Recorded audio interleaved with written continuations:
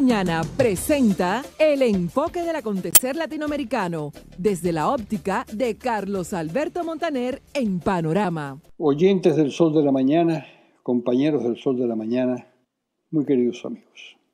Todos vimos el tremendo espaldarazo que le dio Donald Trump a Juan Guaidó.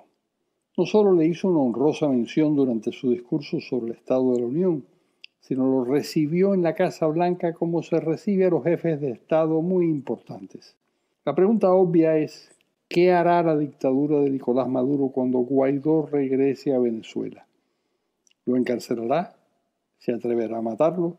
Por supuesto, si no lo hace no es por falta de ganas, sino por temor a las represalias norteamericanas. Creo que Maduro se abstendrá de provocar esas represalias, que en este caso serían más que justificadas. Eso, claro, no quiere decir que la dictadura se cruzará de brazos.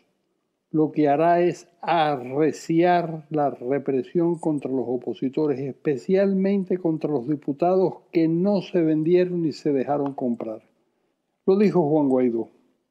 Mucho más notable que el hecho de que Maduro haya conseguido tentar a un puñado de diputados de la oposición con cientos de miles de dólares en medio de la penuria más absoluta, es que más de un centenar de ellos se mantuvieran firmes en la decencia, pese a la precaria situación en la que viven.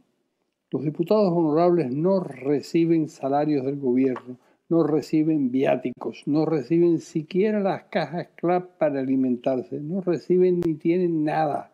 Por eso, lo aconsejable es que los venezolanos libres, los que viven en el exilio, armen un fondo de ayuda para sostener a sus compatriotas en el Parlamento. También existe una responsabilidad muy alta entre los cientos o miles de parlamentarios democráticos del mundo, especialmente en América Latina y España.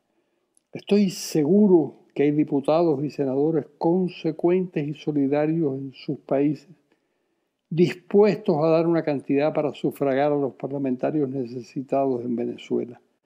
Todo está en que el dinero sea pedido por personas muy serias y se canalice por medio de alguna entidad a prueba de toda sospecha.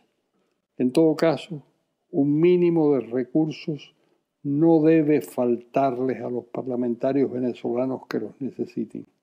Les habló Carlos Alberto Montaner. El Sol de la Mañana presentó Panorama con Carlos Alberto Montaner.